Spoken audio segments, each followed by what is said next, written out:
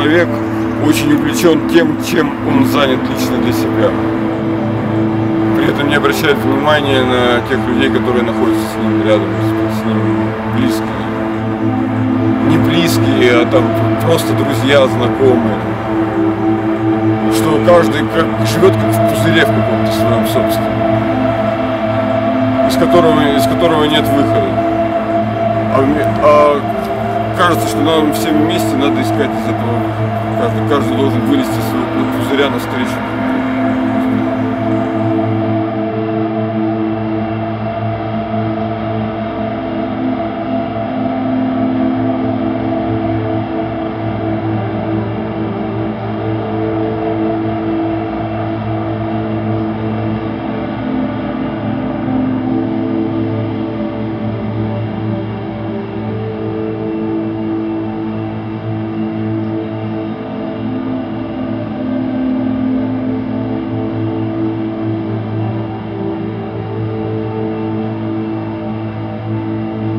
Я никогда не забуду то ощущение, с которым я входил в отделение.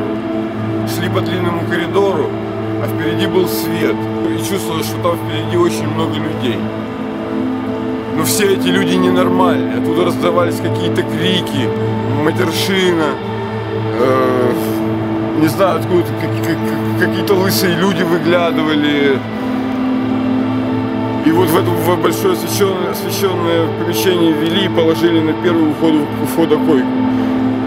И меня не, не покидало ощущение, что все, все должно вот что-то сейчас начаться. А началось что?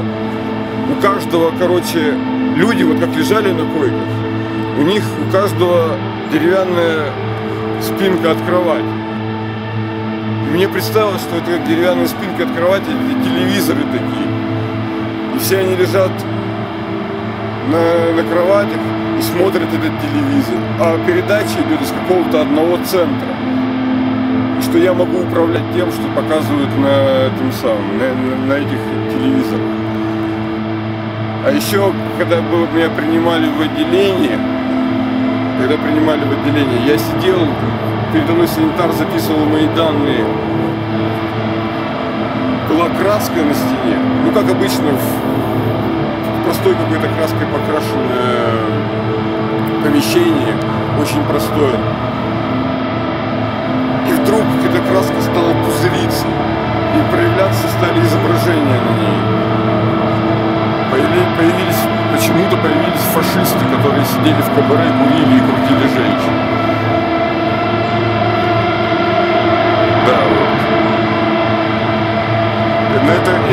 Перемещалось по кино перемещалось по стене, пока меня не отвели в палату.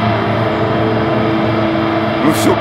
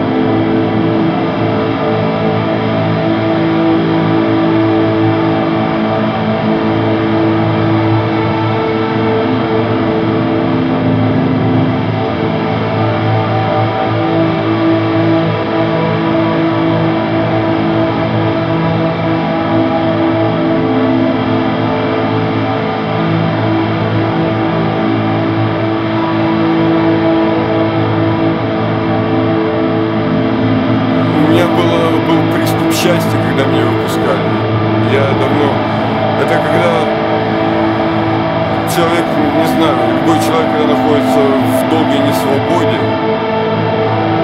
у меня было счастье большое, я распирало счастье.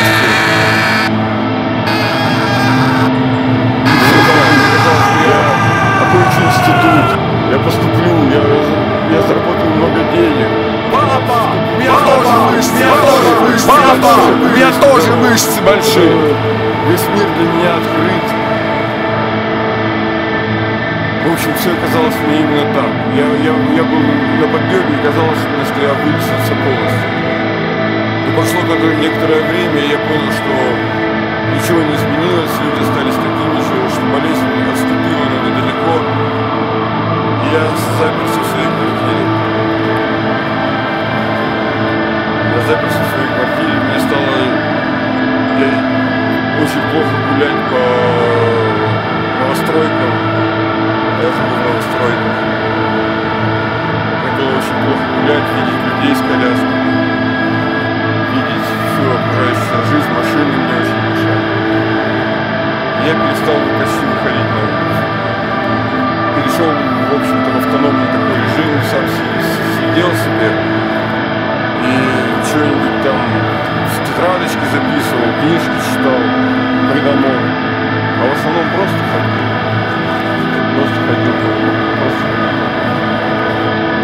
Думал, и думал, когда же наконец закончится эта болезнь.